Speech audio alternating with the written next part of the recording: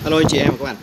Ờ, ừ, Có một số anh chị em và các bạn đang băn khoăn là đầu tuần thì nên xem xét à, đang có tiền mặt à, xem xét có nên giải ngân cổ phiếu nào. Thì uh, Thắng ơi xin được uh, gửi tới anh chị em và các bạn một vài cái cổ phiếu mà anh chị em và các bạn có thể quan sát uh, vào đầu tuần có thể xem xét mua vào. Thì nhiều khả năng là là, là, là sẽ có một cái đợt uh, tăng sắp tới theo cái phân tích uh, góc nhìn phân tích kỹ thuật.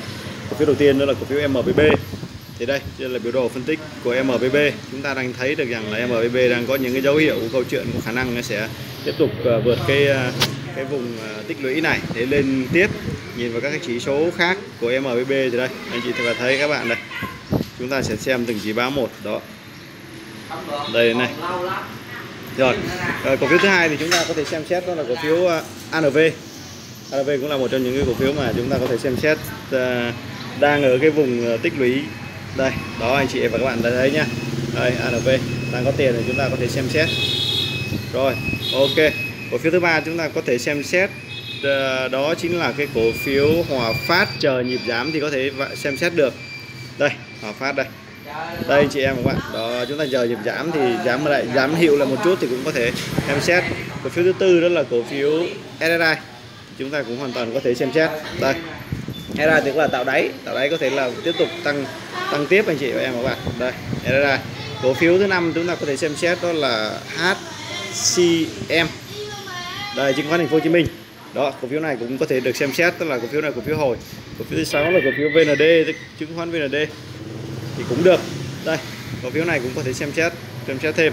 Và thêm một cái khuyến nghị nữa, hai cổ phiếu đó là cổ phiếu Cotecom đây chị em và các bạn cô tài công và nhựa Bình Minh. Để anh chị và các bạn có thể nhanh chóng xem qua. Đây, các cái chỉ báo kỹ thuật đây. Tôi sẽ lướt rất là nhanh cho anh chị em các bạn à, dễ xem.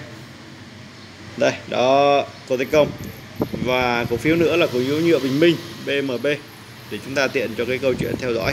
Đây, đó, nhựa bình minh cũng là những nhận thuộc những cổ phiếu tạo có khá nguy cơ, có khả năng là chuẩn bị cho tạo đáy. Rồi như vậy là chúng ta đã điểm qua cho quý anh chị em và các bạn à, một số cái cổ phiếu mà có thể xem xét trong cái đầu tuần mà đang có tiền à, mặt có thể à, xem xét mua vào. Thêm một cổ phiếu ngành chứng khoán nữa anh chị và các bạn có thể xem qua.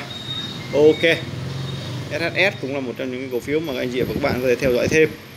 Đấy vài cổ phiếu như thế để à, gửi tới anh chị em và các bạn để đầu tuần chúng ta sẽ có những cái trực tiếp à, cụ thể hơn review trực tiếp cho quý chị em và các bạn và sẽ giao dịch trực tiếp với quý chị em các bạn với cái số tiền mà tháng Thắng ơi sẽ đóng vào trong tài khoản để à, giao dịch uh, trading cùng với anh chị em và các bạn trực tuyến. Uh, ok xin hẹn gặp lại quý anh chị em và các bạn vào 9 giờ sáng ngày mai. À, sẽ có cái chương trình tức là trading cùng thắng ơi. Mua gì à, với cái số tiền 500 triệu. Xin chào anh chị em và các bạn.